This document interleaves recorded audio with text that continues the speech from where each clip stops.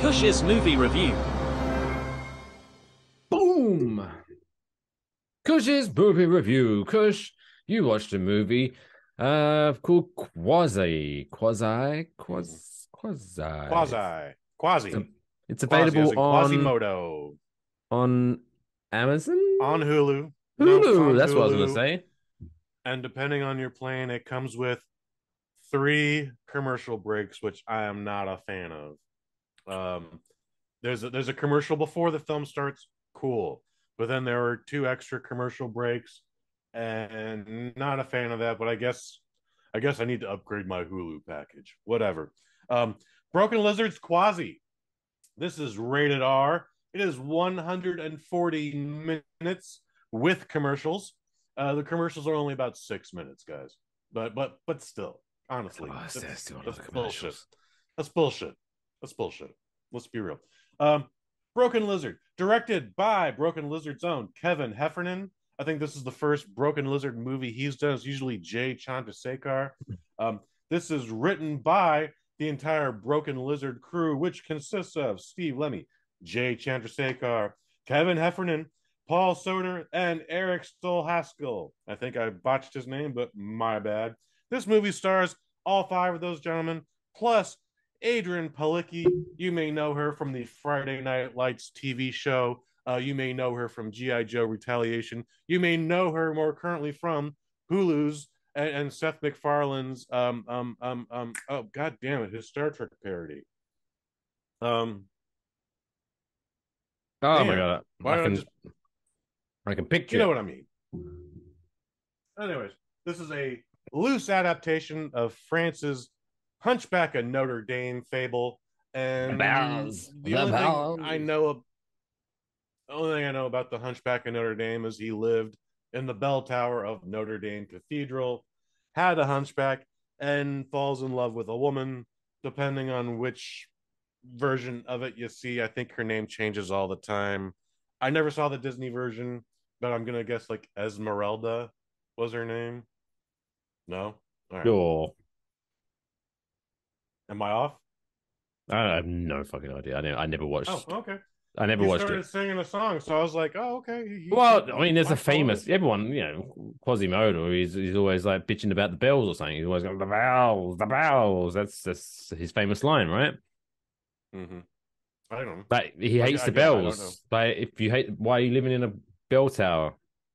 It's dumb. Well, that that there, there's no hate towards the bells. In fact, they, they make a little joke about, "Come on, dude, we're gonna be." He's like, "Hey, man, I live in a bell tower, and when you live in a bell tower, you're, you're pretty apt about time." Like, it, anyway, there's um, this is by the Broken Lizard guys. This is an American comedy troupe. They um, they are heavily influenced on Monty Python, if you can tell by the name. Otherwise, um, very funny guys. Of course, you know them from Super Troopers, Super Troopers 2, Club Dread, uh, Beer Fest, one of my favorites. I think I like Beer Fest even more than Super Troopers. But um, they've got a line of hits under it. And for whatever reason, I don't think this was ever going to make it to theaters. So lots of hilarious gags, um, lots of R rated comedy. Like the, the story starts off with like, you know, those old like Victorian era drawings. Yes. Okay. On So you, on, you get a um, narrator saying like, the what are they called? it's all The- on parchment. uh, it's, but it's a specific um tapestry. books, worry, tapestry. tapestry paintings. Um, you know, they uh the narrator starts the movie like, hey, it's 13th century France, and you gotta know that like everything sucks. And when he says that, there's just a still still drawing of a man who's been tied to a rack, hung upside down, and is having cats stuffed into his asshole. Like, like that's how terrible this life is. And you're lucky Wouldn't to happen in New it if you Zealand. Yeah, right. Um, so we get a lot of jokes like that. Uh, Quasimodo, Quasi for short. He uh he is a torturer for the French kingdom. In fact, he invented the torture rack that stretches people. They have a very funny joke consistent with uh, Eric Stolhasky, whose name I keep botching. But uh, Eric is a normal sized man as an actor, but through through the miracle of technology, they shrunk him down to Rey Mysterio size. And then he's a he's kind of like a beta tester. They're trying out this new rack. And they're like, yeah, we used to like stretch out real heretics, but they kept telling us everything hurt. Everything hurt. So that's why we started paying regular people to do this so we could find out what hurts specifically. And he was like, Yeah, I'm all about it. I'm just trying to get through culinary school. And but over the course of the movie, he gets taller and taller to the point where like he's taller than Shaquille O'Neal. Uh, um, I don't don't mean to ruin a joke for everybody, but it's it's well done. It's well done. So Jay Chandrasekhar plays the King of France. Kevin Soto plays the Pope, and um, for whatever reason, Quasimodo wins a lottery where he gets to confess all of his sins to the Pope.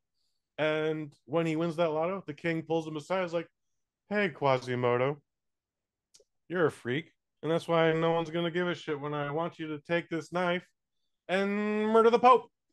And he's like, "Oh my god, I can't murder the Pope, but I guess I'll do it. Whatever." Um, so he gets ready to murder the Pope, and then the Pope pulls him aside and was like, "Hey, Quasimodo, you're a fucking freak. So you're not gonna care when I give you this knife to murder the King of France." And he's like, "Oh, my god, double assassination. What do I do?" Decisions, um, decisions, decisions, decisions, decisions. So, like, there's a lot of fun humor in this, a lot of broken lizard humor in this. They they do a bunch of cute stuff with it, which usually I'm not a fan of, but I enjoyed everything with this. Is this their best movie? No. Is this their worst movie? Also no. But it's it's right there. It made me laugh the entire time. I would definitely check it out again. But um, yeah, it's it's it's no Super Troopers. It's definitely no Beer Fest. But it was a well done effort um, from director Kevin Heffernan, and um, you know, the guys are just funny. They have good timing. Adrianne Palicki, when she's not beautiful, she's a lot of fun in this too. You know, um, damn, I still cannot remember the TV show that she was on, which is embarrassing. So, um, I wish I could give this a higher rating, but I can only give this three out of five. But it's available for free now with a Hulu subscription. Three commercials that might have affected my my viewing habit, but uh, yeah, three not a bad time by any means. Out of five. Yeah, not a bad time by any means. Yeah. Seth MacFarlane. The Orville. Ah, that was it. Damn it, you got it for me. There we go. I, I, I could picture it in my head, but Orville. So yeah. By the way, season three of the Orville best season of the series. I hope they make more. I don't know if we're going to get any more, but every uh, season of the Orville is also on Hulu right now. So there you go. Orville. Check it out. That's what we've learned from this review. Mm-hmm. To be fair, like in my in passing, because I haven't seen um Quasi um yet, but like you say, is it the worst? Is it best? No, is it worst? No, but uh, to be like, with the the broken lizard fellas, by now you should know what to expect. It's that makes sense. It's, it's, just a lot of fun. They're just making movies because one of the cheapest. Eh.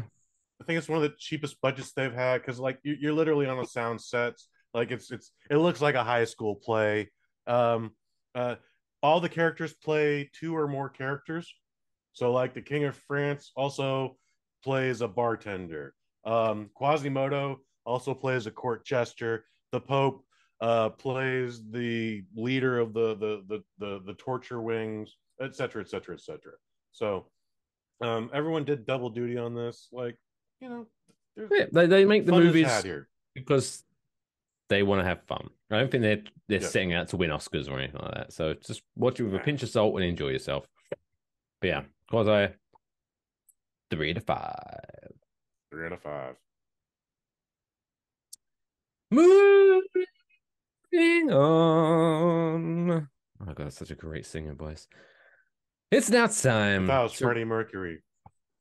You close your eyes. On. We are going to do the. Ew. Oh wow. Ew. Ew. Ew. one of my Funko Pop Well collections that I took out of the box. That's all, folks.